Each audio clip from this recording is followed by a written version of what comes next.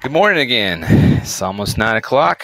Back at the the Bora Bora Tahiti Hut, and I'm going to help you uh, make yourself a little more efficient by using your calendar. I'm going to run over to my calendar. Every day we have things that we have to do, and some things we only do once in a while, like once a week or once other week. Could be data collection. Let's say on on uh, let's just move this to next week. Let's say on Tuesday we need to collect data on a person for RTI. I'm going to just put a reminder. Let's say two o'clock, and here at two o'clock, I'm going to add a reminder: collect data on student. I'm going to put that in my calendar. I'm going to edit the event. Um, here I can give myself a reminder, a notification to pop up 10 minutes before and add a notification. I can have more than one. I can even have an email notification. Um, and let's say I can put it collect data on John.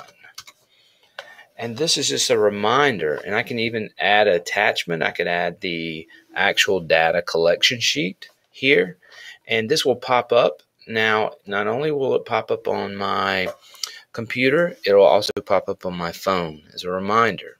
And I can hit the repeat button and tell it to do it every Tuesday for the next how many occurrences, like every week for the next 35 weeks. And I can change that number and save it. And this way it will help me remember when to collect data on a person and save.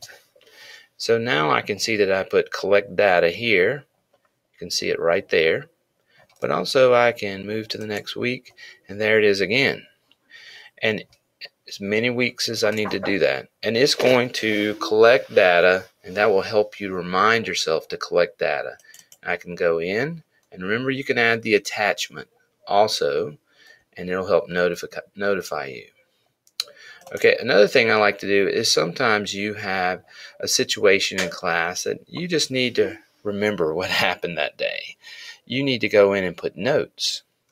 Uh, this is a great place to store notes right here in this description.